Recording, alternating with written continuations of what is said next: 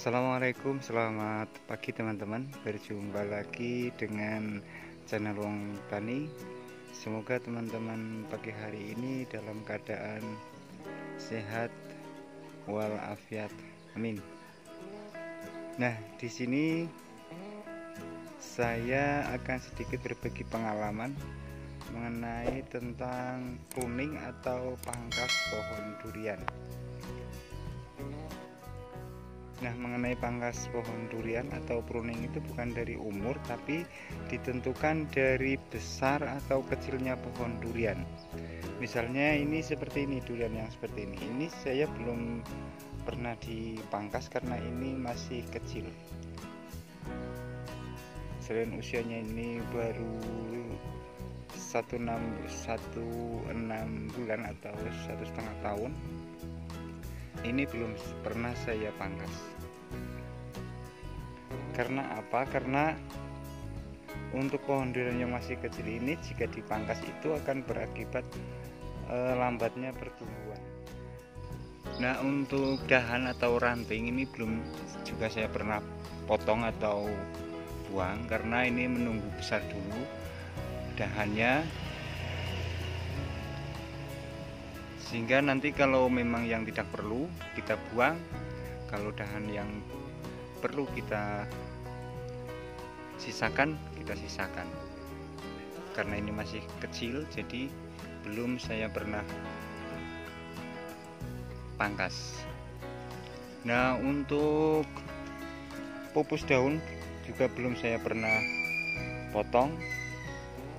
Ini masih utuh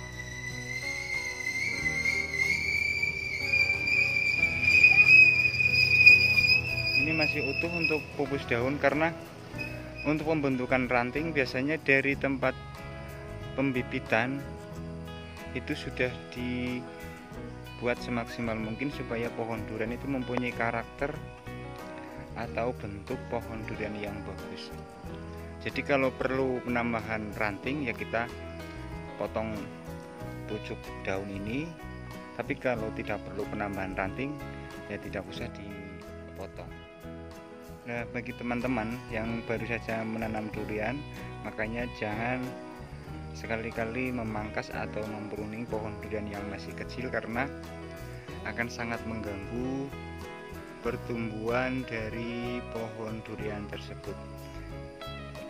Nah, ini karena selama tanam sampai saat ini belum pernah dipangkas, jadi ini pohon durian terlihat subur.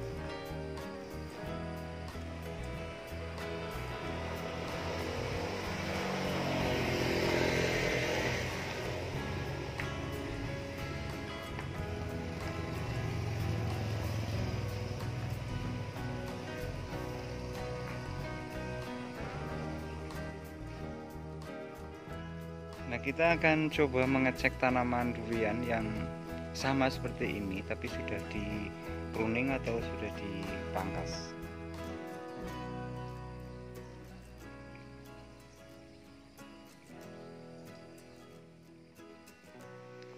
Nah, contohnya itu seperti ini nih durian yang masih kecil ini sudah di pangkas rantingnya ini bekas pangkasan rantingnya. Ini. Dahannya. Jadi sangat mengganggu pertumbuhan untuk pohon durian tersebut. Seharusnya untuk durian yang masih kecil ini jangan dulu dipangkas rantingnya. Biar pertumbuhannya itu normal